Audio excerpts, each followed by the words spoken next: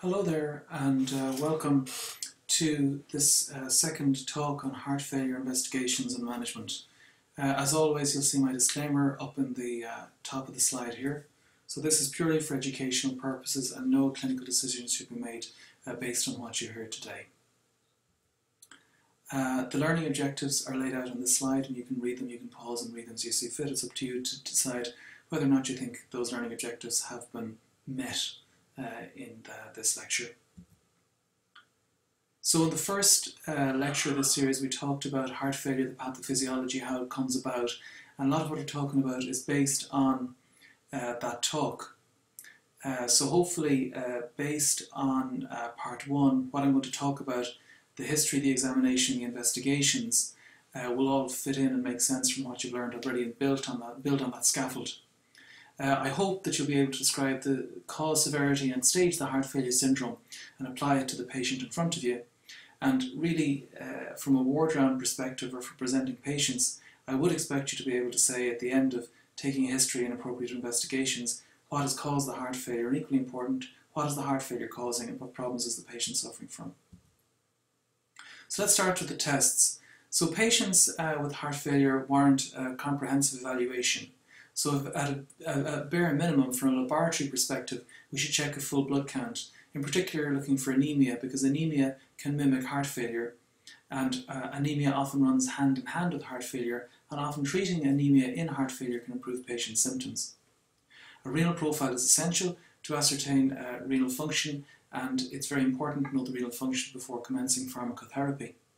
We'd like to know the liver function test. The liver function test can be deranged as a result of heart failure a thing called congestive hepatopathy, uh, and it's very important to monitor liver function tests going forward, particularly if they're abnormal to start. We need a fasting glucose to outrule diabetes, and diabetes often runs hand in hand with heart failure. We need to know the lipid profile of the patient because patients with higher cholesterol are often more prone to ischemic cardiomyopathy. Thyroid function tests are essential because dysthyroidemia can exacerbate the heart failure syndrome, and in severe cases, uh, severe dysthyroidemia can actually drive heart failure itself. Brain natriuretic peptide, which is a whole talk in itself, is uh, often and nearly always now measured in patients with known or suspected heart failure. In general, uh, you consider brain natriuretic peptide to be the white cell count of heart failure. It's generally elevated in patients with heart failure. Tracking its course can help work out how patients are responding to treatment. But equally importantly, some patients with severe heart failure will actually not have an elevated uh, uh, BNP in much the same way some patients with severe sepsis may not have an elevated white cell count. So like any test, it has a certain sensitivity and specificity, uh, and in the case of BNP, BNP is very sensitive and very specific, but it's not perfect. An ECG is mandatory in patients with known or suspected uh, heart failure. It's very, um, it's very rare to have a totally normal ECG in heart failure. Uh, on the other hand, the pattern of ECG abnormality in patients with heart failure varies enormously. For example, if a patient had ischemic cardiomyopathy and had previous infarction, you might expect to see Q waves. In patients with dilated cardiomyopathy, you might see diffuse ST changes or T wave inversion. Uh, but to be fair, it can be very difficult to ascertain the etiology of the heart failure just based on an ECG alone. A chest x-ray could be very useful, especially in patients who present acutely, to ascertain uh, the degree of pulmonary congestion, if any. The echocardiogram remains king, really, to ascertain whether the heart failure uh, is due to predominantly systolic or diastolic dysfunction. It's very important because ejection fraction provides prognostic information. Similarly, concomitant valvular heart disease uh, is a very important part of the heart failure syndrome. Uh, in some cases, it may not be clear whether the heart failure is due to a valvular lesion in the first place, because when patients present, they can be fairly advanced. Not every patient needs the other tests, which would include a coronary angiogram, a right heart catheterization, and there is a special talk on right heart catheterization if you go onto my channel on YouTube. Cardiac CT can be useful for evaluating the coronary arteries non-invasively. And finally, cardiac uh, MRI has a growing role in the management of patients with heart failure. So when assessing and treating patients, here's a list of things we'd like to do. Well, we'd like to make people live longer, in other words, reduce mortality. But equally importantly for the patient, we want to improve their quality of life. We'd like to make them run faster. We'd like to be able to maybe retard or even reverse disease uh, progression. Every patient requires a package of tailored care, we'd like to provide that. It's also very important to know when to call it a day. In other words, if you have a very frail elderly patient, it's important to know when to call the family in and say, look, things have gone as far as they can and we've got to move to a palliative strategy. Or alternatively, in somebody who may be transplant eligible, it's important to identify patients for transplant so that they're not too far advanced uh, to get a transplant. So it's all about timing and it's all about knowing your patient longitudinally to know when to change strategy. It's very important when you're starting out to stage heart failure. You've got to make a clear diagnosis. So establishing the etiology is also a very important part of that. Is it alcoholic cardiomyopathy? Is it familial dilated cardiomyopathy? Is it ischemic cardiomyopathy? Is it the cardiomyopathy of tachycardia? And so on. It's also important to know where the patient sits. So when you see a patient, you might see them for the first time. Is this a new patient just arriving, or is it somebody who's a known diagnosis, or is it somebody who's done well and relapsed, or is it somebody who's attending you for advanced heart failure therapies? It's very important we stage the patient, A, B, C, and D as previously discussed. And it's also important to describe the NIHA class, the NYHA class 1 to 4. In addition to that, we'd like to be able to ascertain the patient's volume status. Are they volume overloaded, which is wet, or volume depleted, which is dry? And similarly, is the patient warm and well perfused at rest, or are they at rest suffering from reduced cardiac output? Because we will change our management acutely, particularly, depending on all of these factors. So just to remind us of the stages of heart failure these were recently revised. They're a little bit confusing, but worth going through. So this is a consensus document from the Heart Failure Society of America and other international societies. So stage A heart failure is where we have risk factors for heart failure, but actually we don't have heart failure, and that creates a little bit of confusion. So someone who's diabetes, maybe someone who smokes, someone with hypertension without left ventricular hypertrophy would be said to have stage A heart failure, which some people would say isn't heart failure at all. But it's been given a stage to highlight the importance of treating uh, risk factors before the heart failure syndrome develops. Stage B is frequently encountered, and that's where we have an abnormal heart but never had heart failure. There's patients with left ventricular hypertrophy on an echo, or left ventricular dysfunction, or perhaps may, maybe an acute myocardial infarction, where the patient uh, hasn't presented with heart failure, but we know uh, that there's a structurally abnormal heart due to an occluded coronary artery. Stage C is probably the most commonly encountered stage of heart failure. It's what we know when we see patients presenting with symptomatic heart failure or who previously presented with symptomatic heart failure. For example, a patient with non-ischemic dilated cardiomyopathy who comes to clinic and is on treatment may not have been hospitalised or ever, but maybe initially presented with symptoms. They would be what's uh, called stage C heart failure. Stage D heart failure is advanced heart failure where really our options are becoming thin on the ground. The patient has been medicated and treated as part of a disease management program to the best of our abilities, but is still suffering uh, from significant heart failure symptoms. And in those patients, we need to consider transplant mechanical assist device and perhaps palliative care. So we find the patient moves from stage A to stage D, and almost by definition, you really can't go from stage D back to stage C unless in extraordinary circumstances. For example, transplantation. This is the NIHA, the New York Heart Association of Functional Classification, like all these things, the easiest way to remember is to remember the two extremes. So class 1 means no symptoms with ordinary activity. Now, it's hard to define what ordinary activity is, and that may vary whether you're 8 or 80. Stage 4 is quite easy to understand because that basically means you can't really do anything uh, without having trouble, without having discomfort. What's very important to note is that the NIHA classification, the NYHA classification, it's a functional classification and it refers to impairment of function. It's not a breathlessness or a dyspnea score. So if you say someone is NYHA class 2 dyspnea, that's not really the way you're meant to say it. You're meant to say they have NYHA class 2 symptoms, which in this patient is resulting in breathlessness. But of course, limitation of physical activity can be related to fatigue, chest discomfort, or even a discomfort of palpitation in the chest. So it doesn't actually have to be breathlessness, though in fairness, breathlessness is the most commonly cited symptom. So having staged the patient, having described their NYHA or NIHA classification, we'd then like to see where the patient sits with regard to their volume status and their cardiac output. So this is what's called the two-minute assessment. And as you can see from the slide here, what we'd like to work out is, is the patient volume overload? In other words, are they wet? So if they're wet, they can be warm and wet, in other words, have an adequate cardiac output at rest, but be volume overloaded.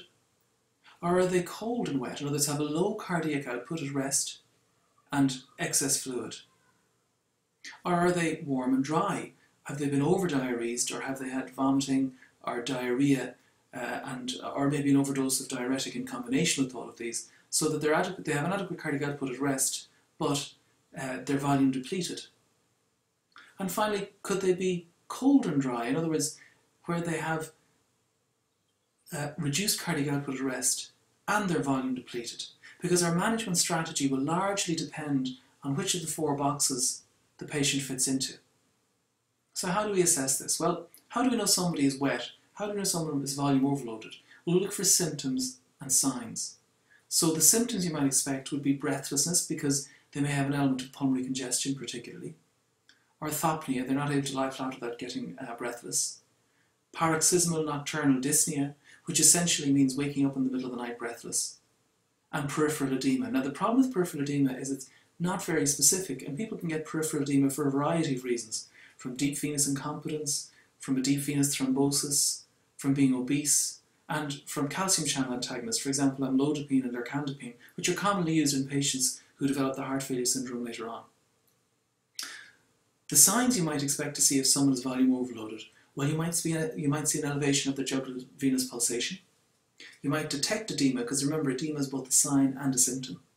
There might be evidence clinically of pulmonary congestion which manifests itself as crepitations, wheeze. There might be evidence of dullness to percussion or an effusion on the chest x-ray oh, sorry, on examination, or the chest x-ray may show frank congestion. You may be able to tap out ascites or do a scan and confirm ascites, and an ultrasound may similarly uh, indicate hepatic congestion. So it's difficult to ascertain who's wet and who's dry, but it's perhaps even more difficult to ascertain who's cold, or who has reduced cardiac output. The symptoms are very vague, but often the patient will complain of profound fatigue and weakness, Occasionally they'll present obtunded, really very able to do very little and very, very poorly communicative, and they'll often have slow mentation. But these are all very difficult uh, symptoms to tease out, and unless you know your patient very well, it can be very difficult to assess a change. For example, if you have a frail elderly patient who you've never met before, there are many other reasons why all these symptoms might be present, in addition to heart failure. The signs you might expect might be pallor, Objectively, you'd find the urinary output is tailing off. You might, but not always, see a low blood pressure. And a very important sign is a rapidly rising urea and creatinine, because when the creatinine particularly is rising rapidly, that's a very firm indicator of reduced renal perfusion, and renal perfusion is a good indicator of cardiac output. But the truth is, it can be very hard to tell, and it can be particularly difficult, uh, especially when you've never met a patient before and you don't know them, to put them into one of these four categories. So what might you do? Well, there are other ways of looking at it, and one is the right heart catheterization, which I briefly mentioned. This is also called a Swan-Ganz catheter, and it means passing one of these fine bore tubes in through a vein, for example, in the arm or the leg or the neck, uh, into the right heart, and directly measuring the pressure, and importantly, measuring the cardiac output. And from right heart catheterization, we can measure filling pressures, in other words, whether the uh, whether the uh, patient is wet, which would be elevated filling pressure, or dry, which would be reduced filling pressure. And similarly, we can directly assess the cardiac output. In other words, is the cardiac output adequate at rest, in which case the patient is warm, or is the cardiac output reduced at rest, in which case the patient is cold? There's a whole other talk uh, I have on right heart catheterization on my YouTube channel, so please feel free to listen to it. It's fairly short and maybe it'll throw some light on it for those of you not familiar with this technology. In thinking about right heart catheterization, you've got to think of the chambers in the heart and the knock-on effects. So for example, if the patient is congested, then you're going to have back pressure and you'll find an elevated pulmonary capillary wedge pressure. And depending on the situation in the right heart, you're going to see elevation of the jugular venous pulsation. So this slide here summarizes what you might expect to see on a pulmonary artery catheter. I'm not going to go through it, I'll let you read it at your leisure. So this slide is just meant to tell you that really it can be tricky to work it all out. sometimes it's just not clear. You don't really know are you wet or are you dry, and you don't really know what the output is. And that's the time you might reach for the Swan-Ganz catheter. And it's particularly pertinent in patients who have complex medical disease. For example, if someone has heart failure and in addition to that, maybe a, a GI bleed, or maybe they have intercurrent sepsis, and you're not clear which the predominant problem is. So having assessed the patient and deciding whether they're warm or cold or wet or dry, you want to start treating the patient. Briefly, if the patient is wet, they require diuretics to reduce the volume. If the patient is dry, they require a reduction in diuretics and occasionally intravenous fluids. If the patient has a low cardiac output arrest with deteriorating uh, organ perfusion, they will often need an inotrope, which might be dobutamine or noradrenaline. They may also benefit from afterload reduction, which could be in the form of intravenous nitrates, nitroprusside, or ACE inhibitors. What you want is a well perfused patient at an ideal volume, and that can be difficult to achieve. So moving on to the treatment of heart failure, I think of treatment in heart failure in three Ds. The diet, which include lifestyle, the drugs or medications, and finally devices, and into devices we put all surgical approaches to the management of heart failure. So let's start with diet. So diet and lifestyle. So really, we have to recognise that heart failure is a chronic medical condition in many ways similar to something like diabetes. So if you just focus on medication, you'll miss a lot of the treatment. And it requires input from a multidisciplinary team with a heart failure nurse as central in uh, disease management uh, delivery. Education is incredibly important and the education has to be tailored to the individual patient's needs. In other words, some patients like to know all the technical details and other patients just can't handle it. But so you've got to know your patient and tailor your education. Similarly, you've got to re-educate the patient. Nothing is ever learned on the first go. And using this approach, we feel we have a holistic approach to managing patients with heart failure. So a few very obvious and simple things. Don't make a bad situation worse. So alcohol is not to be recommended in patients with heart failure. Patients shouldn't smoke, and they should be routinely asked about other drugs of abuse which can exacerbate the heart failure syndrome. Salt restriction is recommended because with salt comes water. So if you if you increase your salt, if you have an increased salt intake or even any additional salt intake, uh, you will retain fluid, particularly if you suffer from the heart failure syndrome. We don't uh, remove all salt from the diet. In other words, a, a salt-free diet is very unpalatable and can actually lead to malnutrition.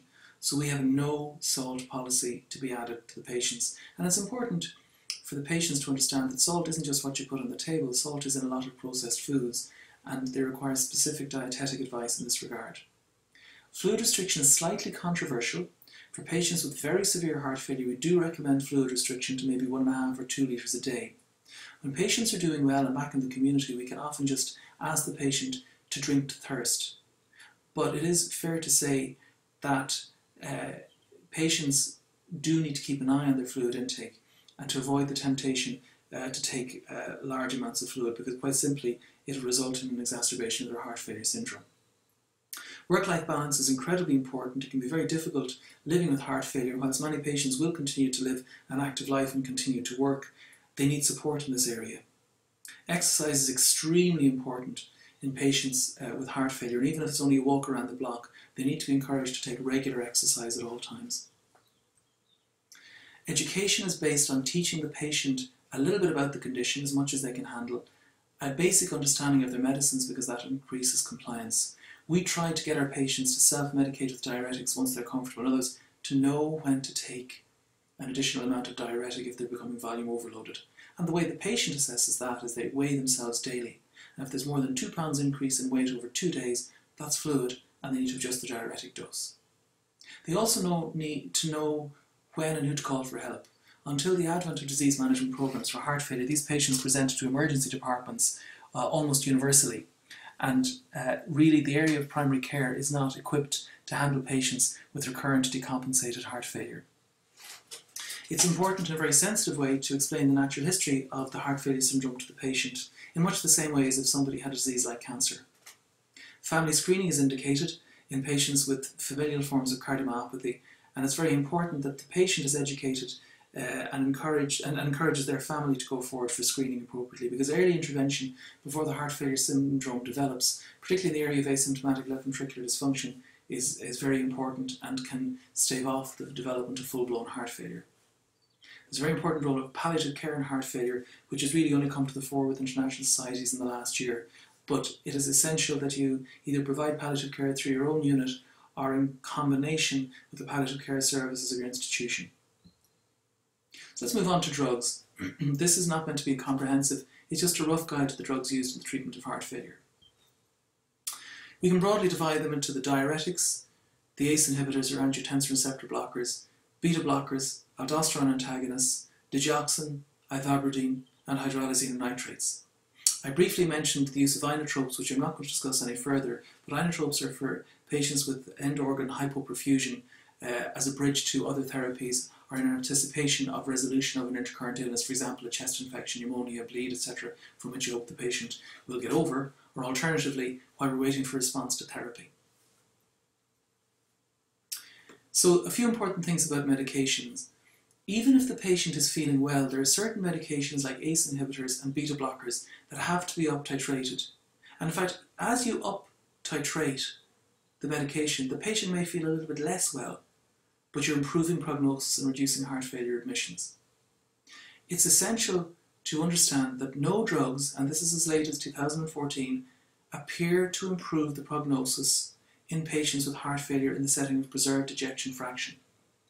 And that is an area of great disappointment uh, for people dealing with heart failure and preserved ejection fraction. But as of now, there are no drugs that improve prognosis. Certainly, there are drugs that improve the quality of life in the form of diuretics, concomitant treatment of hypertension, and avoiding complications, but no drugs improve prognosis in heart failure with preserved ejection fraction. The other incredible thing about the medications we use for the heart is many drugs in heart failure, they don't seem to affect the heart directly. They affect the systemic vasculature, they have renal effects, and although they affect the heart in some cases, we don't really know how they do it, and that can be a little, uh, a little bit of a mystery, but they work. We know they work. I sometimes think of the drugs used for the heart as chemotherapy for the heart. So let's talk about diuretics. Well, diuretics are like the insulin of heart failure. They're a variable dose prescription. Every patient needs a different dose of insulin, and depending on the patient's needs, age, and stage of heart failure, the amount of diuretic that they require uh, will be adjusted. Ideally, we like the patient to adjust it themselves. Much like insulin, you can get it, uh, you can get it in different methodologies and different method of delivery. So we can give diuretics orally, which is the most common. We can give an intravenous bolus for a sick patient who's hospitalised or an outpatient who requires frequent uh, diuretic pulses. Or finally, we can give it as an intravenous infusion. It's important to know that diuretics alone do not improve survival in patients with heart failure. They certainly improve symptoms. You would be very foolish just to use diuretics as monotherapy because people who are just on diuretics alone develop resistance uh, to diuretics at the level of the kidney. And of course, you can get profound electrolyte disturbances, for example, hypokalemia, low potassium, hypomagnesemia, low magnesium. And it's very important to know that we use diuretics in patients who are volume overloaded, and in patients who are at a steady volume, we keep them on the lowest dose of diuretic to stop them retaining fluid. So this slide just outlines a few of the diuretics used. So let's go through the choices and doses. Well, we can have loop diuretics, so-called loop diuretics, because they work in the loop of Henle. The most commonly prescribed uh, drug in our institution would be furosemide, and the dose varies enormously from as little as 20 milligrams to 240 milligrams per day, often given in divided doses. Bumetanide is also an option, between 0.5 and 5 milligrams total dose of the day, again in divided doses. And uh, uh, has been shown to be effective in patients maybe who have resistance to either of those drugs. Working differently uh, on the distal tubule, effectively, thiazides are very powerful diuretics and particularly powerful if they're used in combination with loop diuretics. So we'd often use metolazone, somewhere between 2.5 and 10 milligrams per day, again divided doses in this case, we often use metolazone on alternate days indeed. Hydrochlorothiazide is useful as well. That's often used as a combination with antihypertensives. Bendroflumethiazide, again a very uh, well-established drug used in the treatment of congestion and particularly useful if combined with the loop diuretic to, to diurese the patient. Indapamide is a, is a very good antihypertensive and, and may also be used uh, to, to diurese the patient. Of course, all these agents are diuretics, but primarily they're natriuretics. In other words, they cause the loss of sodium through the kidney. And as sodium is lost, so is water. So the only uh, absolute pure diuretics would be things that, like osmotic diuretics, like mannitol, which we rarely use, or mercury, which was used as, a, as an osmotic diuretic. Uh, so really, these agents technically should be called natriuretic in the sense that they primarily cause the loss of sodium, but with the loss of sodium comes the loss of water.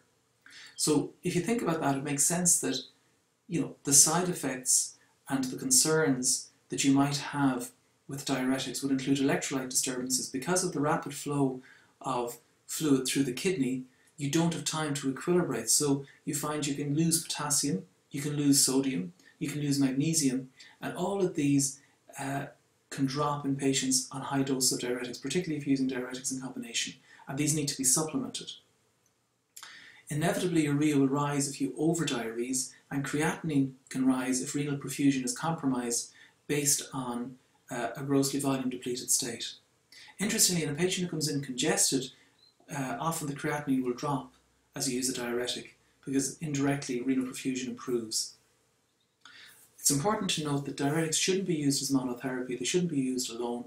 The side effects are worth talking about, and we like patients to be stable for 48 hours on an oral dose before they're from the hospital.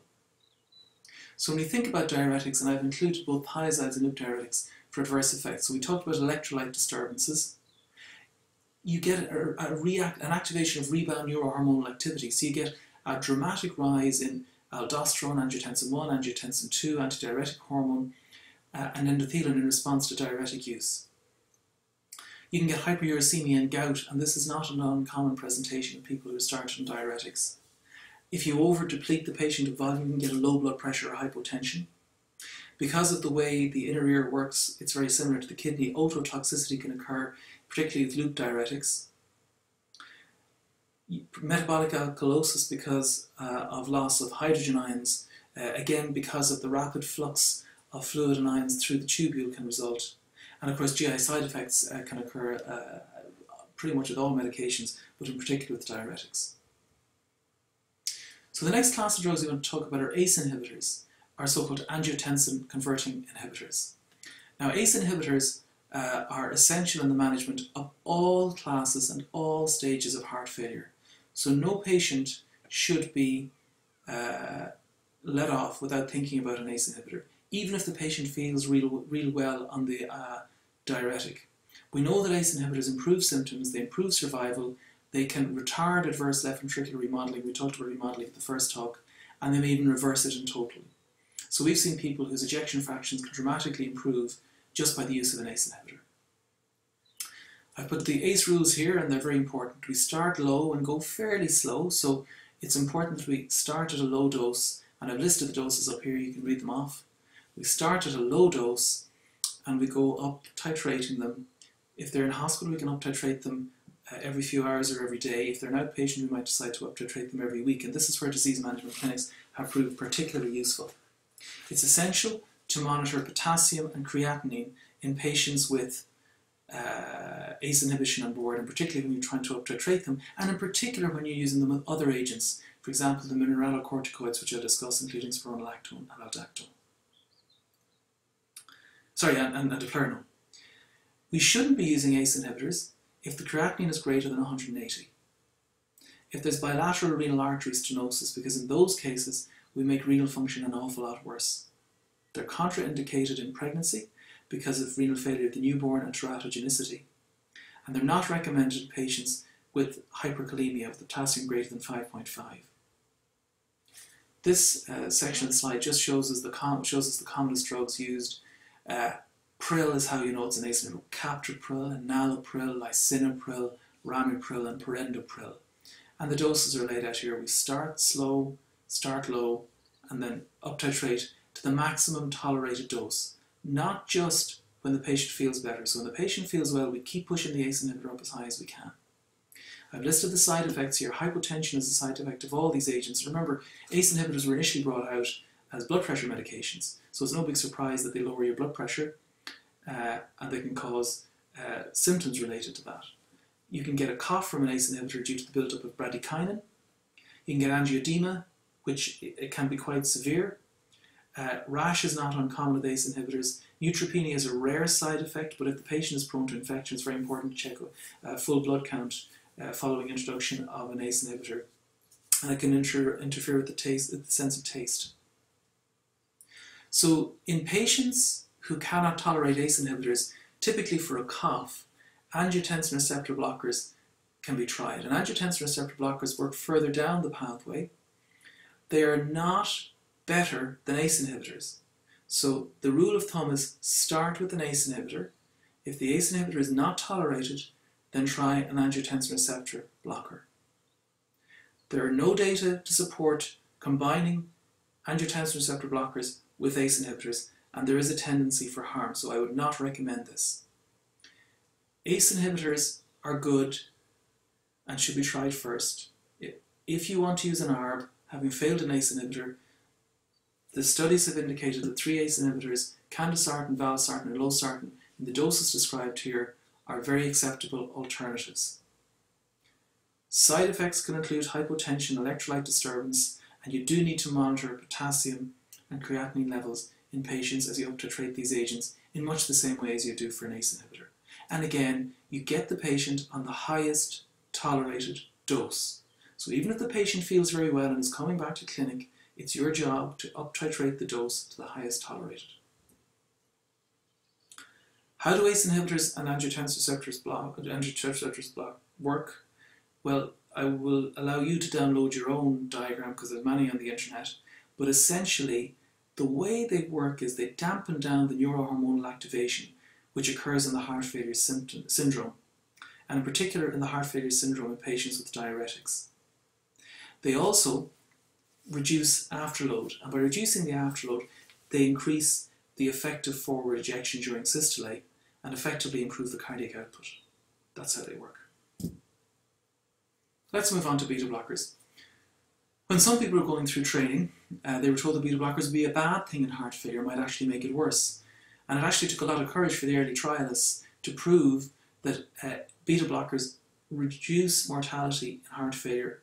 And although they don't improve symptoms in the short run, by reducing hospital admissions, they have a profound effect for the quality of life of patients. They're now indicated in all patients with heart failure of all stages except the, the severely decompensated hospitalized patient, the so-called class 4, in which case the only medication in the beta blocker class that may prove beneficial would be carvedilol.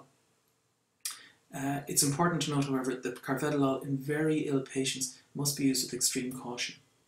So essentially, the Bluffer's Guide would say class 1, 2 and 3 heart failure, irrespective of ejection fraction, probably benefits from ACE inhibitors, sorry, from beta blockers. Uh, I say probably because in the absence of left ventricular dysfunction, there's only a very small sub-study showing a benefit uh, with nebivolol. Now, when you're using beta blockers, you'd like the patient to be in their Goldilocks place. You don't want them to be too wet, you don't want them to be too dry, and you'd like to, them to have an adequate cardiac output at rest. So a very ill, hospitalized patient may not be the time to uh, add in the beta blocker. The beta blocker, once we start it, we up titrate it slowly, and it can take weeks or even months to uh, get to target doses. Beta blockers work in a variety of ways. They're anti-ischemic, they're antiarrhythmic, they directly reduce uh, renin-mediated uh, angiotensin release and the release of renin itself. They help to reprogram the fetal heart program. They favorably remodel the heart. But like a lot of these things, because they work in so many different ways, we're not actually sure how they work because they seem to work on everything. But take my word for it, they work. So let's have a look at who might get a beta blocker. So as I said, any degree of heart failure except perhaps class 4, any degree of left ventricular systolic dysfunction associated with symptomatic heart failure, and also asymptomatic people with an EF low, lower than 40. The big unanswered question is, if the EF is greater than 40, between 40 and 60, what's the benefit of beta blockers?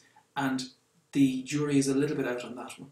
And as I mentioned, in patients with heart failure, and preserve systolic function, disappointingly, we don't have a huge evidence base to show an improvement in survival. You've got to work hard to get your patient on a beta blocker. You're going to start low and go slow. And as you increase the beta blocker dose, you may need to increase the diuretic because the patient's heart failure symptoms may transiently deteriorate. And again, this is best done on a slow up titration through a heart failure disease management program led by a dedicated heart failure team. I've listed here the drugs that are approved for use in heart failure. And what we see here is uh,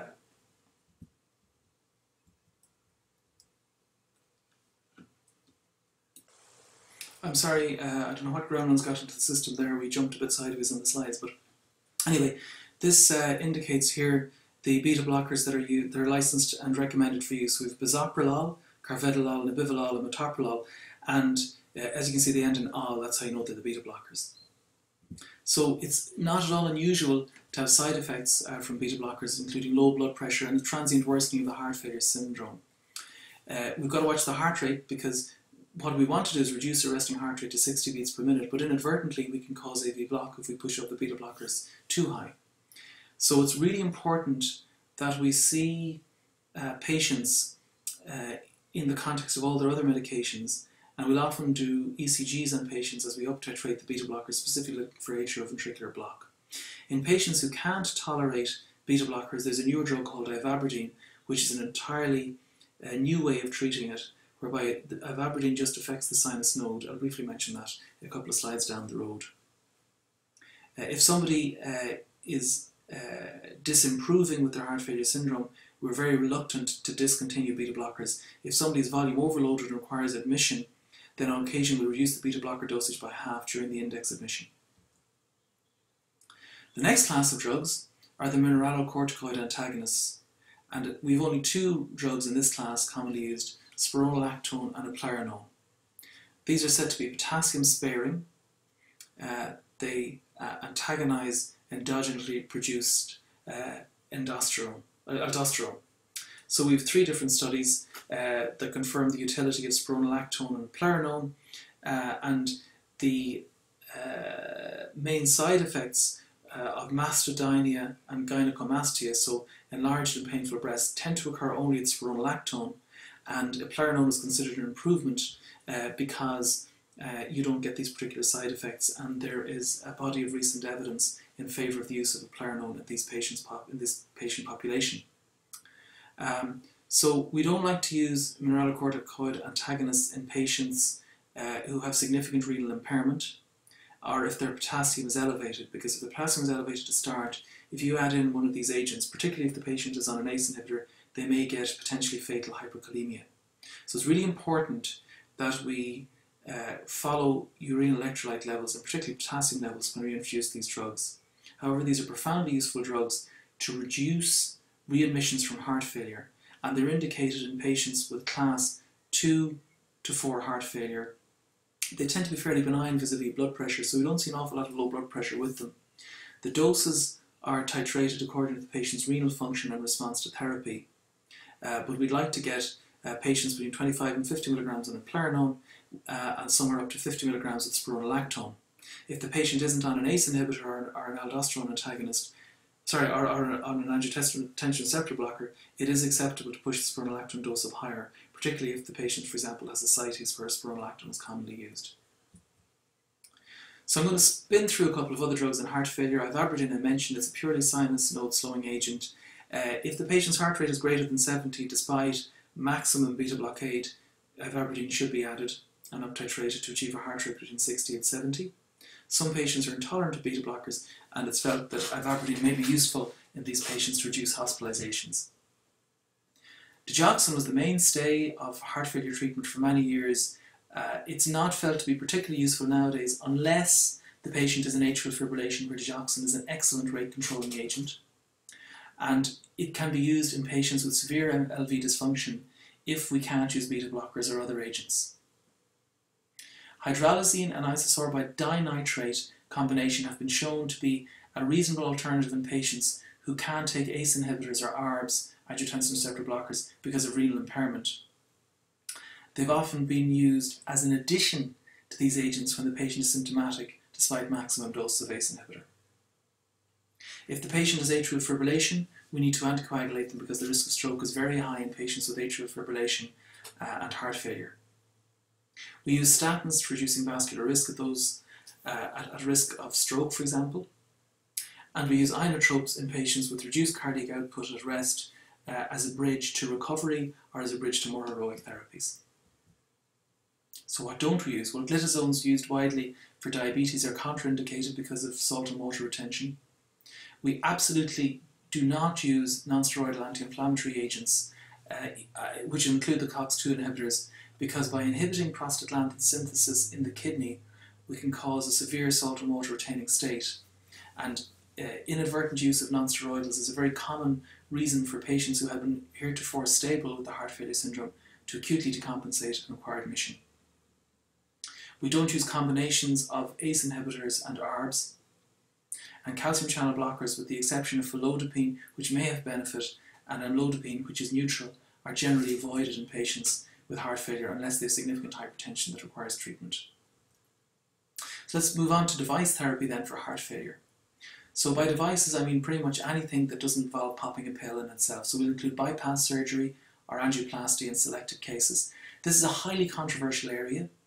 For patients with severe multivessel disease and angina, uh, uh, bypass is probably indicated. In the absence of angina, recent studies have indicated that it may not provide a survival advantage, it may reduce hospitalizations, but the jury is very much out. Similarly for angioplasty and stenting, if the patient has angina, it's probably reasonable. In the absence of angina, uh, it is difficult to know where angioplasty sits in these patients, though it is frequently used. It is also worth pointing out that in some patients, angina may be breathlessness, and so an anginal equivalent of breathlessness may be difficult to, dis to uh, distinguish from the symptoms of heart failure. And in some patients, we empirically revascularize in the hope of improving breathlessness. Valve surgery is very important. In other words, if the valve is the primary problem, providing left ventricular systolic function is reasonable, we can get the patient through surgery, there is a role for valve surgery. In rare cases where there's functional mitral regurgitation, in other words, where the valve, the mitral valve is leaking because the heart muscle is enlarged, consideration of repair of the mitral valve, and with the advent of percutaneous mitral valve repair, this is becoming a more viable option for some patients. Left ventricular reconstruction involves surgically excising an area of previous myocardial infarction, most typically the apex of the heart. This proved very promising in early studies, but again, recent data would indicate that it has no definite survival advantage, but there are still some indications. Cardiac transplantation, we'll briefly mention. We'll briefly talk about mechanical circulatory support devices, and we'll talk about implantable cardiac devices in the form of defibrillators and pacemakers, etc. Just a quick word on transplantation. Transplant is a viable option for patients who have single system disease. In other words, they're dying from heart failure. Problem with transplantation is it's often too early until it's too late. In other words, the patient's clinical course has been declining, but by the time they're referred for transplant, they have significant comorbidities which make them non-transplant eligible. Objectively, we can do a cardiopulmonary exercise stress test and if their maximum uptake of oxygen is less than 12 milligrams per kilogram per minute, if on a beta blocker, then transplantation may have prognostic advantage. Uh, ventricular arrhythmias, uh, which are unresponsive to all therapeutic modalities, can also represent an indication, although this is less so with the advent of advanced uh, electrophysiologic techniques.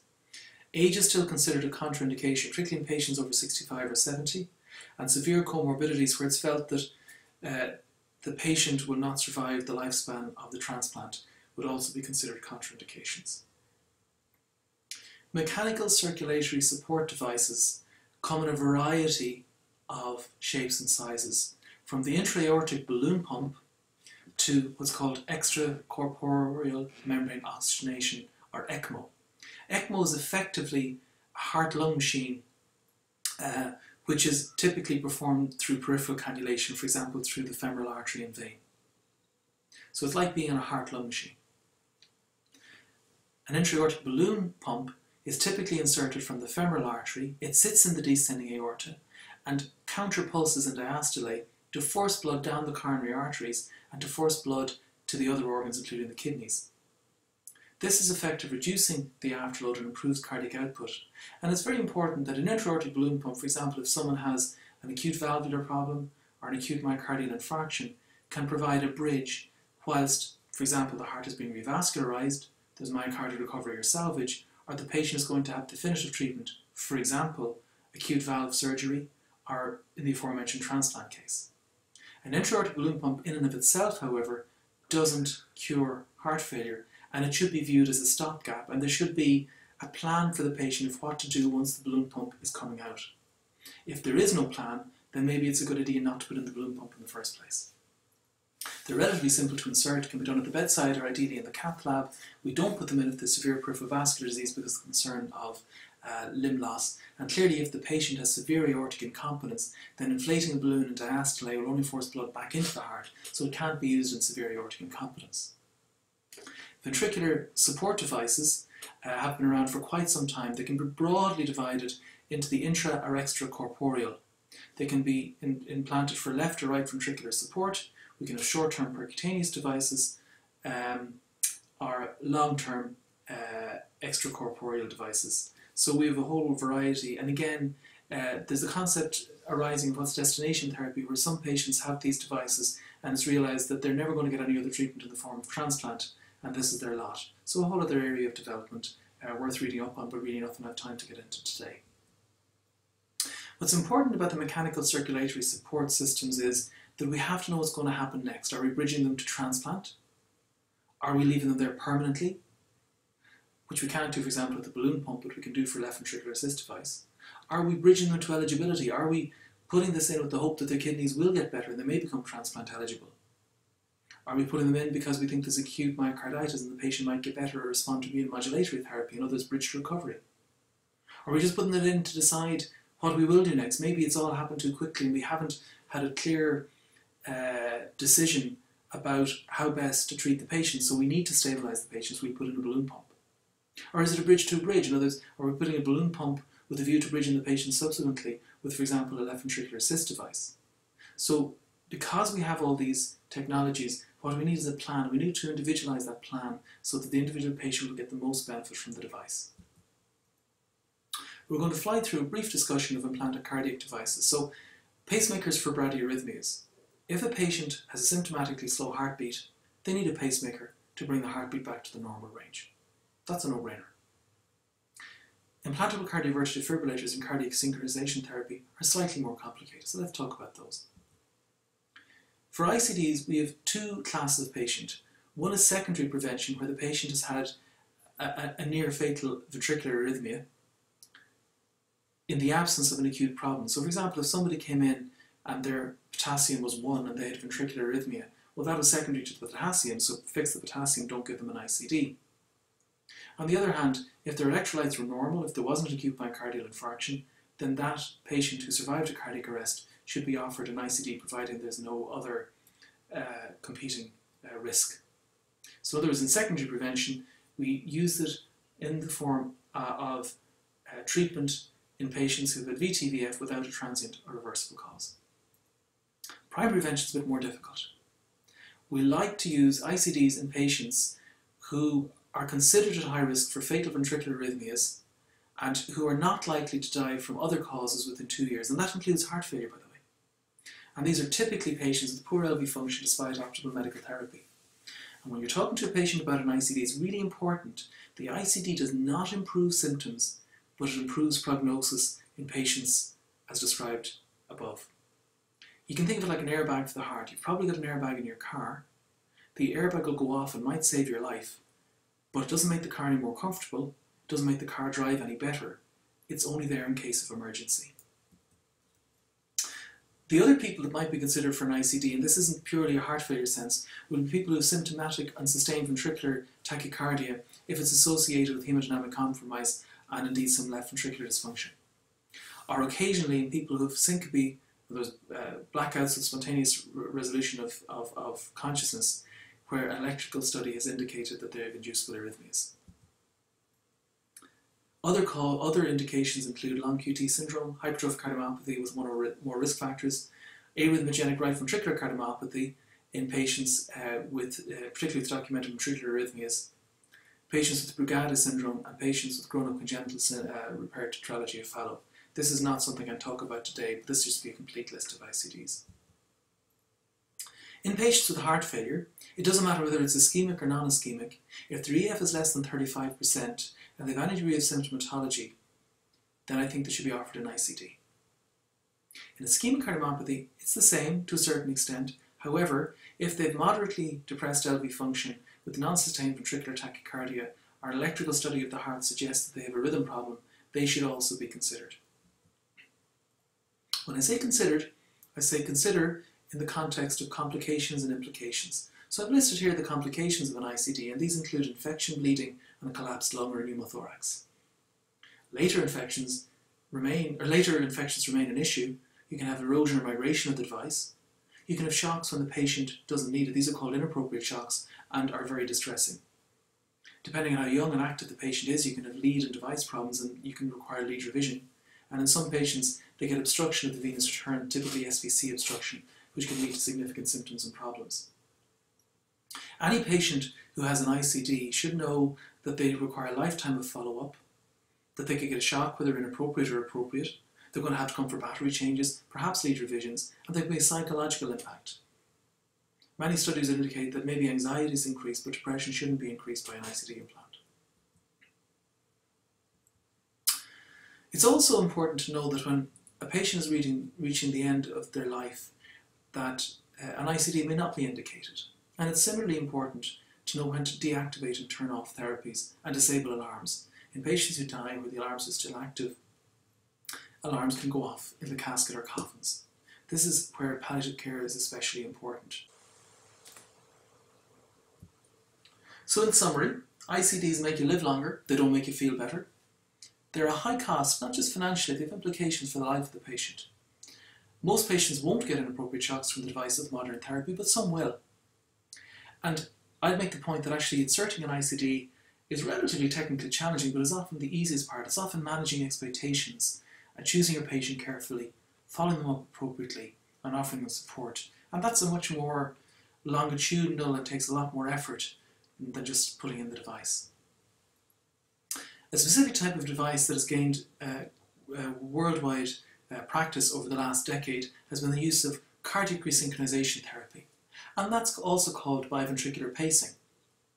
If a patient has left bundle branch block, if their ventricle is dilated, their left ventricle is dilated, and their ejection fraction is less than 35% with a moderate to severe heart failure, despite good treatment, these patients will often benefit from biventricular pacing.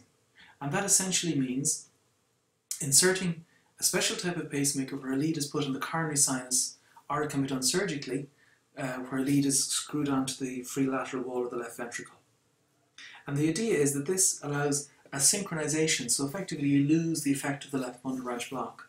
It improves cardiac output, it improves both symptoms and survival, and can often be uh, the single biggest intervention in the patient. Again, patients need to be selected carefully.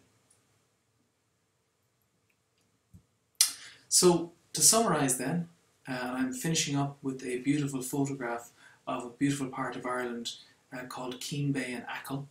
Um, please adopt a comprehensive approach in uh, treating patients with heart failure. Remember the three Ds, diet, drugs and devices. Every patient is different and it's not a one size fits all. You've got to know your patient. It's not just satisfactory to have once off encounter. You won't solve it all at the first visit. You need to work as part of a team. And I would argue that the most important part of the team is the heart failure nurse. And really, heart failure nurses have revolutionized the management of patients with heart failure. Uh, thank you very much for listening to this talk. Please check out my channel for other content. Uh, and I'd be very grateful for any comments you might have. I know I went on for a long time, but there's a lot to cover. Thank you.